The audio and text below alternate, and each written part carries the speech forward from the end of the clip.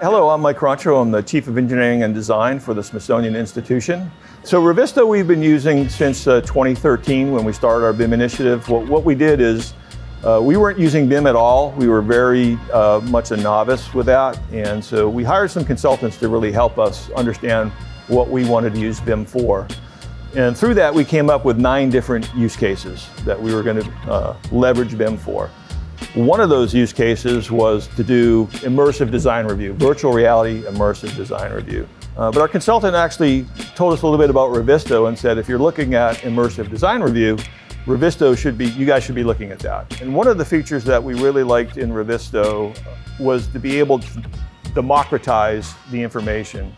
So one of the things that we used early on was the ability to uh, create and export executable programs that had the model in it.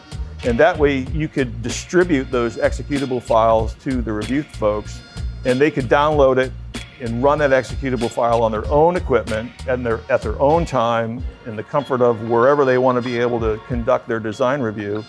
And it was very intuitive. It's like playing a game. And so the navigation was very easy. So we could distribute those to everyone. And we got some value out of that, right, by democratizing that information. But we also found value with regards to having curated design reviews, where we would take uh, folks that were as part of the stakeholders in the team and have someone help guide them through the model and have them asked to go to particular places within the model in order to be able to do a focused review. And I have two stories that I'd like to talk about that. So one has to do with some technical folks and for the National Air and Space Museum project where we've used Revizto extensively both during design and during construction. The very early stages of that design, we had done a curated immersive design review and my BIM manager was walking them through the mechanical spaces. Within 30 seconds of being put into the mechanical space where the boilers are, uh, they all commented the boilers have to rotate 180 degrees. We can't access the correct side of the boiler that we need to access. And I know we would avoid a change order because that's happened to us on a previous project. The second story has to do with non-technical people. So we had them look at drawings, we had them look at SketchUp models. We even did a curated review using Revizto and the 85 inch television screen. We got no comments. So we put them in the HTC Vive headset and then we told them, okay, walk into the space and pretend like you're doing an examination. Walk over to the table. And they immediately said, doesn't work for us.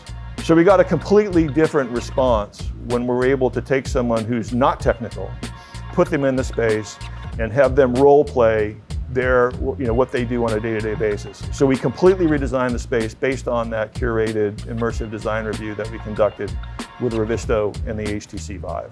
So as an owner, I think one of the benefits that we did and we executed is we own the equipment and the license, right? So we own the Revizto license, we own the laptop, we own the HTC Vive, and that allows us to curate our own design reviews. We're not dependent upon a consultant who is going to have to come in and do this for us with their own equipment, their own software. We own it.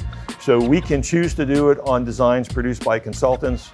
We can choose to do it on designs we produce in-house, and we can choose to do it in novel ways that we control and not have to rely on a consultant to come and come and help us.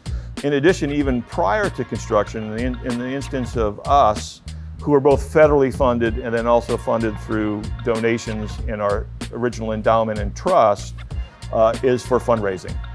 Being able to take a donor and immerse them in the space with the exhibit, allow them to walk around, see where their name is, see what their contribution is going to be before it actually gets built and they're not looking at 2D drawings can be immensely powerful and persuasive on getting folks to donate money to the institution and to help fund the exhibits. Secondly, we have used it in construction. So in the particular case of the Air and Space Museum, our partners on the construction side, Clark, Smoot, Consigli, chose to follow on. They had heard that we were using Revizto during design, and they chose to use it during construction for a number of different things.